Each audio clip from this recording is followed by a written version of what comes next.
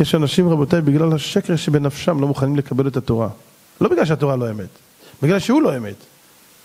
מה, אם אני, כש... אם אני עכשיו יודע למה שזה, אז מחר צריך להניח תפילין, לשמור שבת, עזוב, אני לא בקטע עכשיו.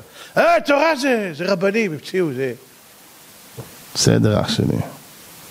לזה קוראים להיפגש בפרופו, אתה יודע מה זה? בהמשך הדרך. הוא עכשיו לא רוצה לשמוע. אתה מפסיד את החיים שלך. אנשים חושבים שהתורה באה לגזול מהם את החירות שלהם. שקר. אין לך בן חורין אלא מי שעוסק בתורה.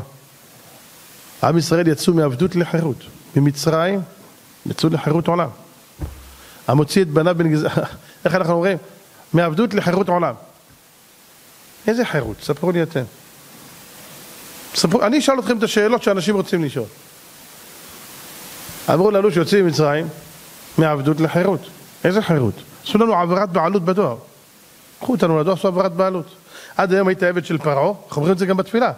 הללויה, הללו עבדי אדוני, הללו את שם אדוני, יהי שם אדוני וברחמתה ואדוני. ככה מתחיל להלל, נכון? אומרים חז"ל, מה זה הלו עבדי השם? עבדי השם ולא עבדי פרעה. אז מה? הייתי עבד, נשארתי עבד, בהתחלה של פרעה עכשיו שלך. ושלך יותר קשה. פרעה מי שקם בבוקר היה עובד אצלו, לא צריך איתו לידיים בבוקר. לא היה הלכות, נגעת, לא נגעת, תיגע בעיניים, אתה עושה ככה, אל תיגע באוכל, תיטול ידיים, זה יש טומאה. רגע, אמרת מודה אני, שנייה, שירותים, תל ידיים, אשר יצר, על נטילת ידיים, אשר יצר, שאלוקיי, נשמה של נתת תביא, אה, אל תאכל, אסור לאכול לפני התפילה, אסור לדבר, אסור זה, אסור לעשות כלום. בואי נו, זה חתיכת עבדות. תניח תפילין, תפציצית, שבת, חייב מיטה, חייב סקילה, אה, עזוב אותי, לך. רוצה לאכול, תיטול ידיים. רגע, זה כשר, לא כשר.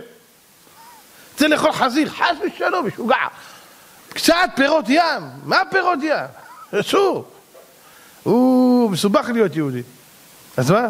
אז איזה חורין זה? זה חורין בכל הגוף זה. הבן חורין, רבותיי, זה לא אחד מה שעושה מה שרוצה. זה לא בן חורין. אתה בתור אבא, אשאל כל אחד ואחד מכם. אתה בתור אבא, רוצה שהילד שלך יהיה בן חורין? כן או לא? ודאי שכן. אז תן לו להיות בבית, לא ילך לא לגן, לא לבית ספר.